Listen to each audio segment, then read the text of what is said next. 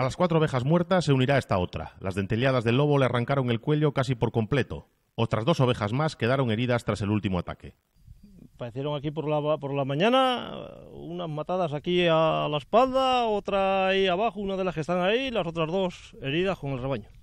Harto de los continuos ataques del lobo, hace 25 años Lolo renunció a subir sus ovejas al puerto alto de Onís, en el Parque Nacional, para mantenerlas en estos prados cercanos a su localidad, La Rovellada. Ahora se encuentra aburrido porque sufre el mismo problema. Lo irónico del caso es que los daños tienen lugar en una zona, la de Ibeu en Onís, que la propia Administración Regional declaró territorio libre de lobos. O sea que es una vergüenza. Ni hacen batidas, ni hacen nada. Antes te mataba de fin de semana, jueves había batida, ahora no hay nada. El año pasado yo reclamé alguna batida en algún daño aquí también, en, mayo, hacia mediados de mayo, y todo, nada, sin, sin respuesta ninguna. A cuenta de la amenaza del lobo, la producción lechera de las ovejas de Lolo, con las que produce el queso Gamoneu del Valle, se ha resentido de forma notable. La mitad, mitad por mitad. Ahí está para pa verlo. Las ovejas están todas asustadas, te asomas de ellas, no pastean bien y nada, esto es un desastre.